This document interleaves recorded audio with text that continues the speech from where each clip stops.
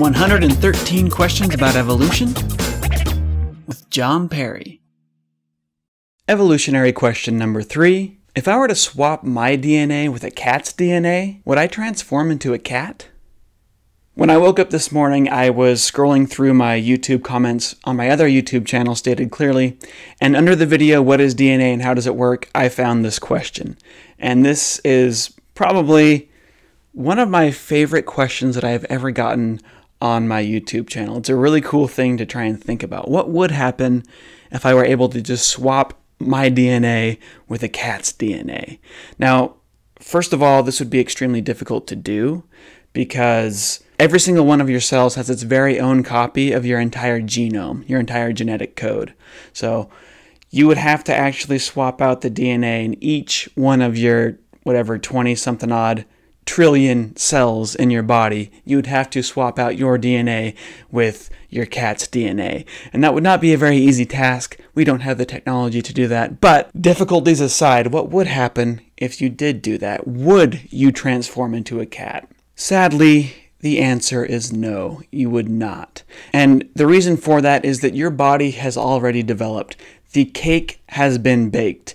Taking a baked cake and putting it into a new cake pan will not transform the shape of that cake.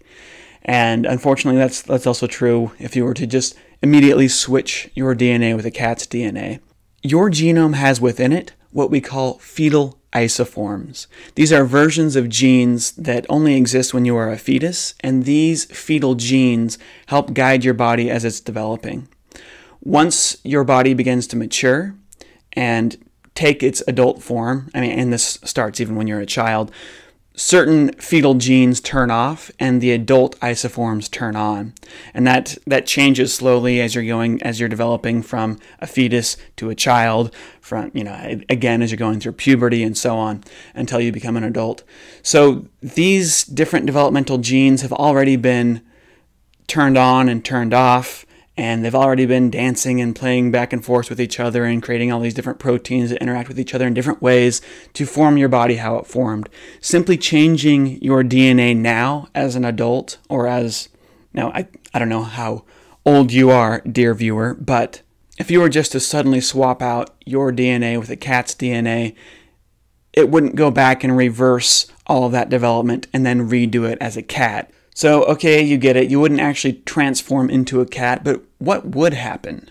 Would you start making cat proteins? The answer there probably is no as well. The reason for that is that, you know, humans and cats, we actually share a lot of the same genes, but those genes are in different spots on our chromosomes. And if you were just to take the DNA out of a cell, the human DNA out of one of your cells, and replace it with cat DNA, all of the, the cell machinery, all those proteins and ribozymes and little snippets of RNA that exist in the cell nucleus along with the DNA, they would be lost. It would break the machine, essentially. Because everything's located in different spots, the whole thing would break, the cell would die, and because you just replaced all of the DNA and all of your cells with cat DNA, you would immediately die as well. Okay, so that's not going to work because the protein machinery inside the cell wouldn't recognize that immediately swapped DNA. But what if we just said, okay, cats share a lot of the same genes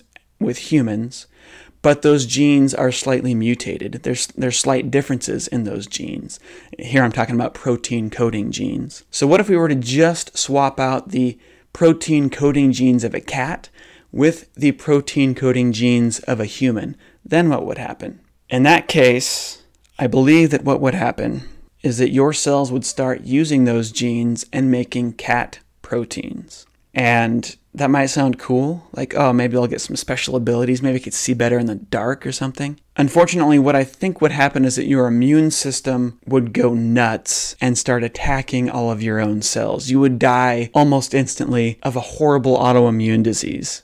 The reason for that is that these cat proteins are slightly different than human proteins, and your immune system would see those as foreign objects and attack. And this would happen even if the immune system had its genes replaced with the cat genes as well, because it's already been trained to recognize your body proteins as appropriate proteins and all other proteins as invaders. So you would get, yeah, you would die. unfortunately. Next question.